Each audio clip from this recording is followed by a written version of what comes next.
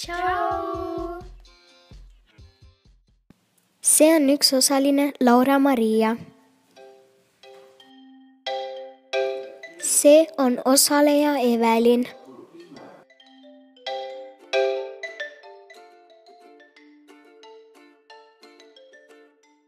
see on osaleja Lisette.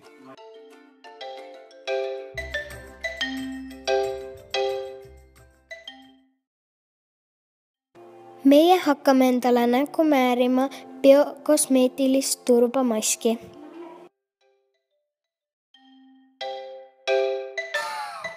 mul soin lahti. nii ja nüüd me paneme seda endale näkku. see on siuke nagu mudane tunne.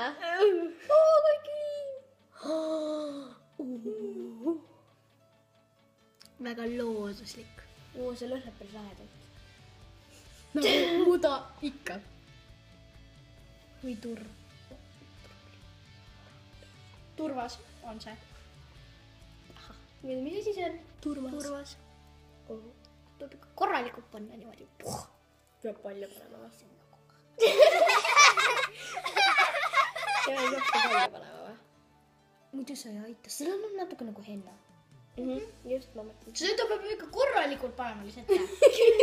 ma näen. ma vaatan korra peeglist ennast.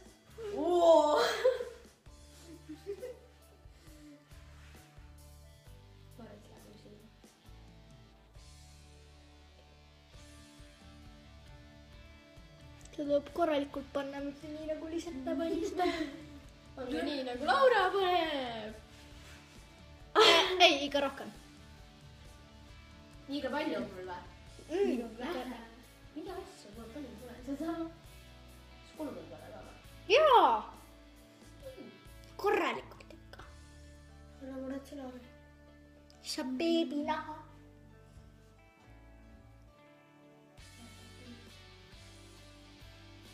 me peaksime midagi kõik siin joonema.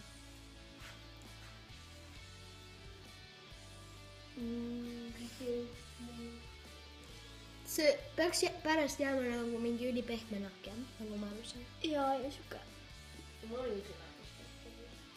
muidu on olemas ka veel mingi äh, probleem selle nahale ka, aga see on siis, kui sul tekivad mingid punnid mm. -hmm. seda meil ei ole vaja, meil, meil ei ole punne. Evelin, mul on liiga vähe, onju. tulge vaadake nüüd Laurat. Ikka liiga vähe, näe, vaata nii nagu mina võta lihtsalt nagu Laura nagu julge.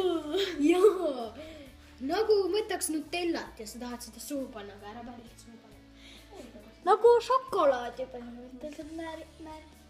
sa pead nagu äh,, nagu Shrek välja nägema. jaa, roheline. no jaa, ainult pruuni värvi oled. pruun Shrek. no nii, Joona. Evelin, kas sa oled valmis, lasen siis meid siia kaamera ette. mina olen valmis. liiga vähe, pole seda või?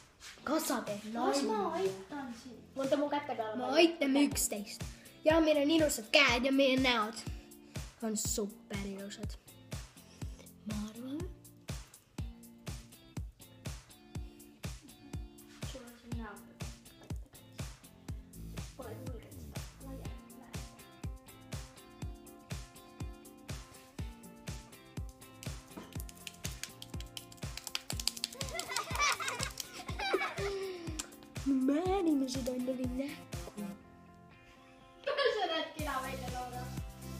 näidake Laura.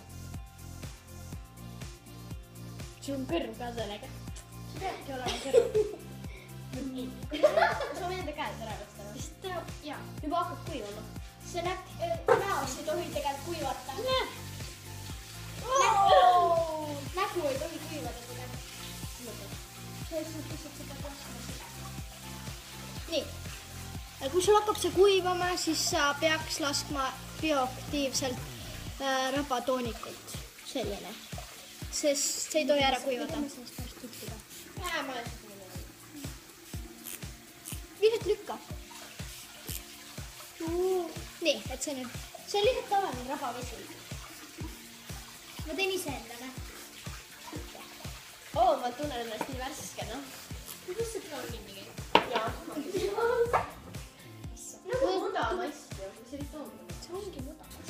tai kurk. kui sul kuiv on, sealt lase. ma tunnen, et kõik on mm.. aga kas seal ongi, kõik ongi turbaräbaga seal? jaa. lihtsalt käiakse nagu äh, rabas.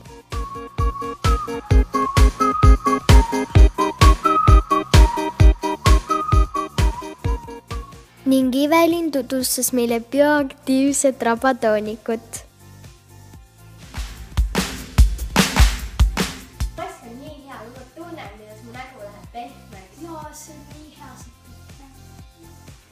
ja, ja siis, kui sa hakkad koju, siis tuleb lasta seda bioaktiivset äh, rabatoonikut, jah? muidugi, sest äh, muidu need head molekulid või mis need siin sees on, muidu need ei ole nii head, kui need näevad. maha pesemine. tšau.